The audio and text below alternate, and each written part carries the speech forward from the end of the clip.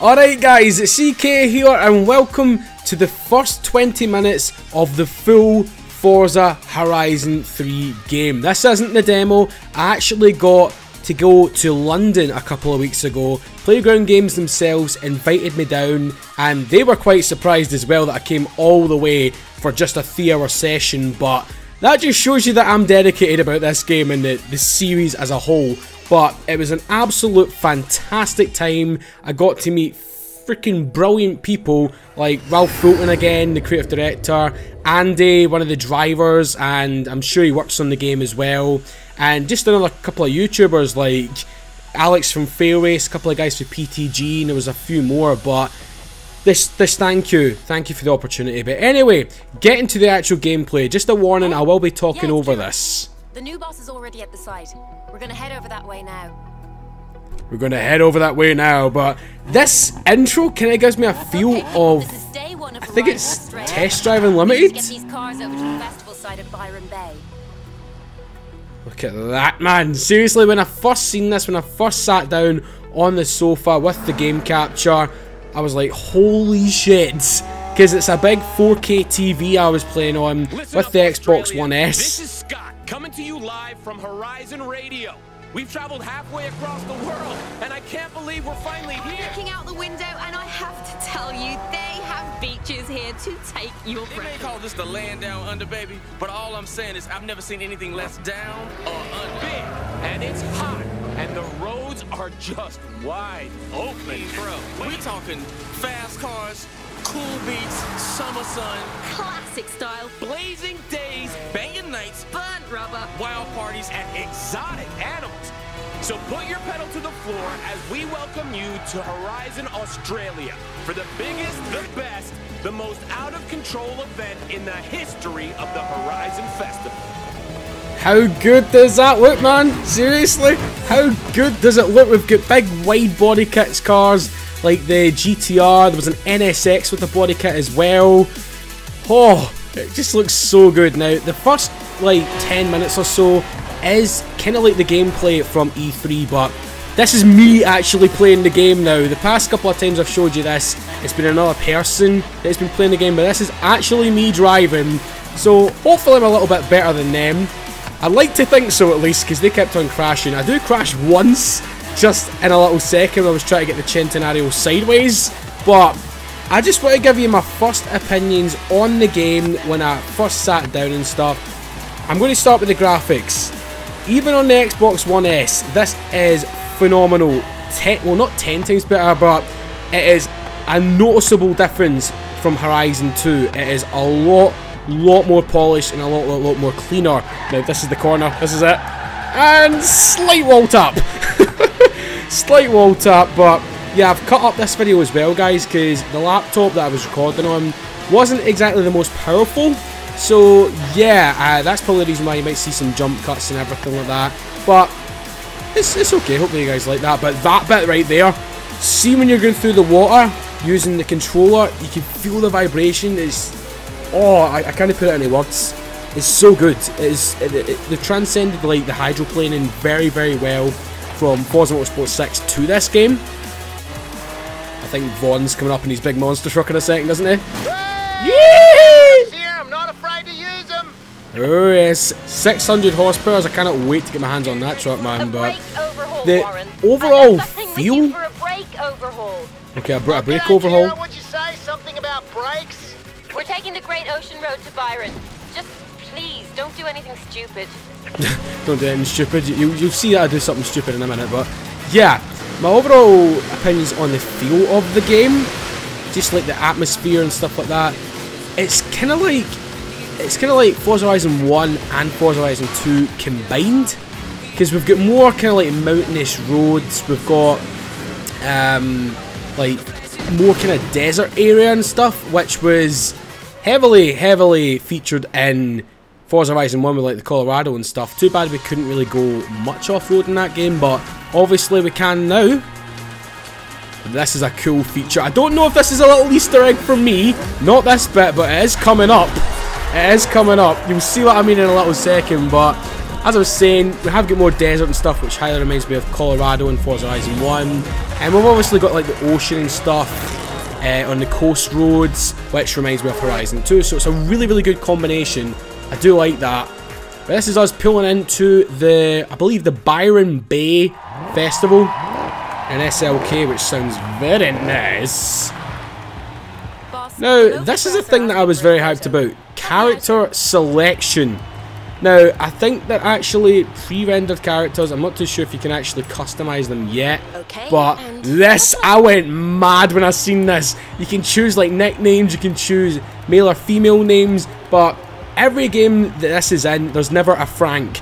But thank you, Playground. Thank you so much. There is a Frank in this. Just listen. What do you think of? There's the Easter egg. Jag F-Type, Ferrari 488. If it was a 458, that'd be an even bigger Easter egg. The music we play and the star drivers we sign. This is your festival. Damn right, it's my festival, I'm the boss. I know you've just arrived, but the very first event starts in a few minutes, and I've got you the best seat in the house. Oh yes, so basically she was explaining the Horizon blueprint there that we can make up our own events and stuff and change the music. said easy, not boring. She said easy, not boring. Yeah, I'll give you that, Hen. I'll give you that. This is definitely not boring. We're in a buggy racing a helicopter with a freaking Willys Jeep hanging off it. I wouldn't call that boring any day.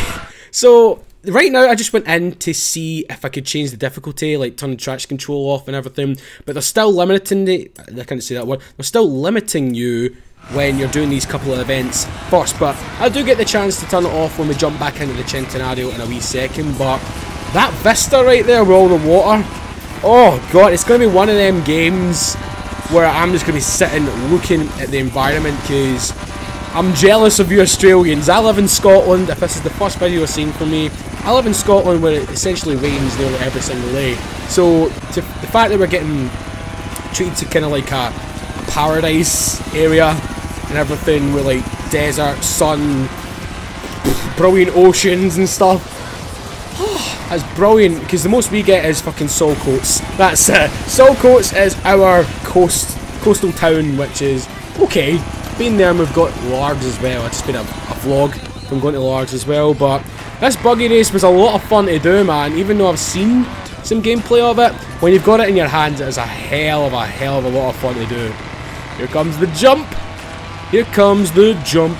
Do do do do. Here comes the jump. But as I was saying, the overall feel, as I said, it was like Horizon 1 and Horizon 2. But the handling feeling, I'm going to try and compare that to Horizon 2 in a wee second after this. He just drops it. Come on, buggy. Come on. And a swaggy handbrake turn across the line. Um, another thing I should say, if the audio is a wee bit out of sync due to the laptop, the can't do anything about it, guys, so apologies. at this rate, and we'll have to start thinking about expanding the festival. Yes, and we do eventually do that, but I was only allowed to record driving, one hour of gameplay. Name's Warren. I know you're in charge, but I'm your bloke in the garage. So you need anything car related, you come to me. Oh, one more thing before we go though. Kira said you might want to drive the Centenario. Damn right I do, damn right I do, man. We're Just look how mean some that really is. Big name guest drivers into the festival now. Most of them just want a chance to line up next to you. Right, so essentially Kira, which is essentially the new Alice Hart or Ben in the game, uh, he or she, what the fuck am I calling him a he? Yeah, why am I calling her a he? I don't know why, but yeah, she's kind of like Alice Hart in this one. She tells you, "Would you like a new car?" Even though you've just bought a new car. I hope she isn't like that. I'm, I'm praying she isn't like that. When I went into the garage or the gar- the garage, it was Warren, so he didn't interrupt us that much. But here we are going through the rainforest and stuff. I'm trying to get the Centenario, Centenario sideways. They've turned the traction control off, we've got the stability control off, and it was quite a blast for it being a all-wheel drive car. It was pretty damn easy to get sideways, but yeah, again, yeah, again, that is the Forza series, and Horizon is a little bit more casual than Motorsport. This one, I thought I was going to spin. That was some major angle, major, major angle, but this is us just coming into the town of Byron Bay, and I have to say it reminds me of Carson from like either either Baymount or Carson from Horizon 1. But this wee town has tiny, tiny, narrow alleyways. It's the same way Surfer's Paradise. Um, later on in the Theora session, I actually went to Surfer's Paradise, but we'll talk about that either late in the video or in the next video, which is going to be very special indeed.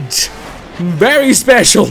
Oh yes, but I wanted to put this one up first, but yeah, as you can see, we're in a head-to-head -head race with a La La La Ferrari right now. Um, it was easy enough, obviously, because I just tried to get you introduced into the game, but this was quite a close call here. Very close call. Them two buggers cutting me off, but that's an epic view. Koenigsegg one-to-one in a La Ferrari. I mean, I think this is the first time we actually get to drive the Koenigsegg one-to-one in an open world one, because I don't think it was in Horizon 2. So we'll, be blasting that right down the road, but we've seen a, Aventador there, a Lykan Hypersport, but just managed to take over this guy again. Look at that, but this Lambo, holy shit, for the time I actually got to drove it, it's amazing. I'm going to be doing a full review on it when the game does drop, but from what I actually got to drive of it, it was very, very impressive. So, when they actually... The more fans will attract to the festival. I'll let you know next time we've identified a potential lineup recruit. Right, so basically, as she was saying, that's what I was going to say. Uh, whenever you do like a head-to-head -head race, you can recruit the people, which is quite a good touch. Quite like that. Listen to that spitting of flames and everything. Just so good. This is where I kind of get all giddy, because whenever I see the ocean, like a good coast road, I, I turn into crisis mode, because that's the sort of roads that I like. Oh, here we go! That was one of the best drifts, but coming up is something that I don't think anyone else done while they were at the session, because all the guys from Playground, well, nearly all of them, were standing right behind me when I done this. Uh, you'll see in a little second, it's in the title as well. Uh, I kind of jumped this car off of a cliff. I was like, why follow the sat nav down the road when you can jump off the cliff? But I didn't know this at the time. I thought there was going to be a barrier or something. But there we go. Lamborghini getting chucked off a freaking cliff. God, the insurance would have been mental for that right there. but that is coming to an end of my time with the Centenario. And now we get to choose another car. And you think I had a crisis mode when I was drifting that? See when this lineup was presented to us? I just broke down because we've got a Maloo at the very end there. We've got a GT350R, the Silvia, which we are going in right now, and big, big hint to the next video. That's all I'm saying. Big, big, big hint to the next video. And we obviously had the BMW M4 there, but this... Alright, Warren, shut up now. I'm trying to speak. but yeah, this was really cool as well. Um, Ian, the community manager from Playground Games, was watching me do this. And I kind of struggled because obviously I can't fit EK Drifter 458 in it. So I had to improvise. I had to improvise, which you'll see in a little second. So we've got the EKD. I've put one in instead of the I. And I've just put an R instead of the ER. Which I think was quite a good touch. So that's going to be my official license plate for the game. Listen to that. Listen to it, man. Now, I mean, I don't know what you guys make of the wing on this, but you'll see in the next video that I actually take it off. That's all the hints I'm getting. But to do that, we need fans. And to bring in fans, we need you out there, running races and performing PR stunts. Our festival scouts have been hard at work mapping points of interest with these markers. Set a route to a marker, and let's see what we can find. Right, so I went naturally for the Forest Away one because I want to drive this thing the most. And essentially what she's saying is that you need to go and do them races to get more fans in. And these are the radio stations. I'll let you listen to the music for a wee bit because Block Party made my freaking... I made me piss myself. Listen.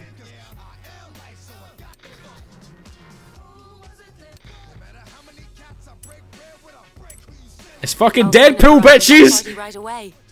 Fucking Deadpool DMX, see when I first flicked onto this station, I I probably laughed the roof down in the white space place we were in for the event and I was like I was saying to a couple of the guys like fantastic choice because uh, the 1975 is in this um, I'll talk about the soundtrack in the next one because I went mental when they were showing like a 10 10 minute gameplay footage before we got our hands in the game but I was by far the most excited person in that room because everyone was quite sedate, everyone was just chatting away and everything. here's me going, oh my god, oh my god, oh my god. I was sitting there for this 10 minute gameplay just like, oh my god, this is so good. But yeah, we had Ralph Fulton to the right of me. I was in the front row. And Andy, the guy that I was chatting to, talking about the music, talking about cars in general, uh, from Playground Games, he was playing the game uh, to the left of me, so I had a front row seat, which was which I was pretty happy about. And Alex Failrace, he was sitting behind me to the left, I believe. And Game Riot was there, and a couple of guys from PTG and stuff, as I says. It was a really cool event. Um, it was brilliant, absolutely brilliant. That's all I'm going to say. But yeah, I think we're just coming up to a really, really cool stunt jump right now. Um, my mouth was open, my jaw was dropped, I should say, when it did happen. But this thing, the Silvia, it slides so easy. But I do end up putting more power into it. Another hint. you all know what it is. You all know what's coming anyway, but I'm not a fan of the wing. I'm not a fan of the wind, my friend. I like it clean. I do like it clean, but this was pretty unnatural doing this. Taking a freaking wide body car off-road, but that's all the perks of Horizon, isn't it? That's what you do, my friend. That's what you do. And here it is! Slow motion. Oh, bang. the suspension is broke.